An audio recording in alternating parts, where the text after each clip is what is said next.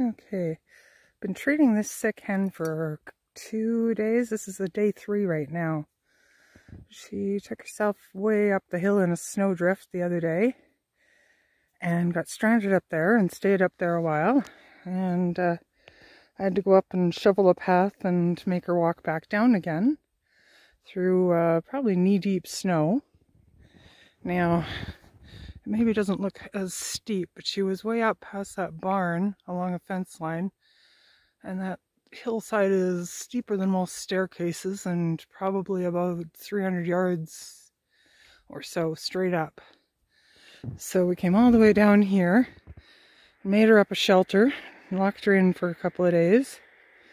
She got shots of long-acting penicillin and dexamethasone 5 and she'll get the same again later today. And uh, I was pouring food and electrolytes down her throat the last two days, but uh, I'm. She looked at the food. She hasn't eaten it yet. We'll see if she'll uh, have any or not.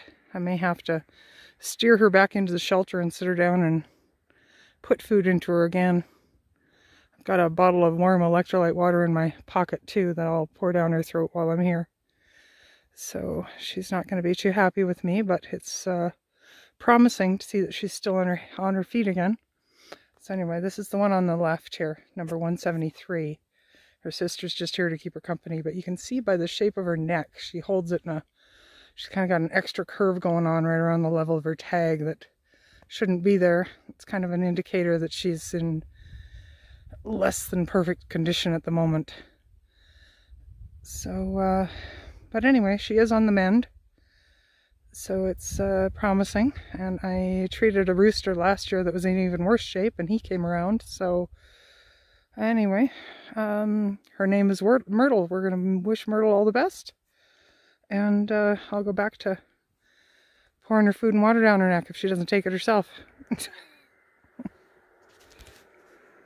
My helpful Maggie dog is uh, always along to see if I need any assistance these girls grew up with the dog, so they're not scared of her. they peck on her ears and her teeth and her belly and everything, so the dog isn't scared of them either. Anyway, okay, that's it for now. Myrtle, if you're not going to eat, I have to help you. Hmm? And uh, your sister Ruthie is going to eat your breakfast on you if you don't get at it.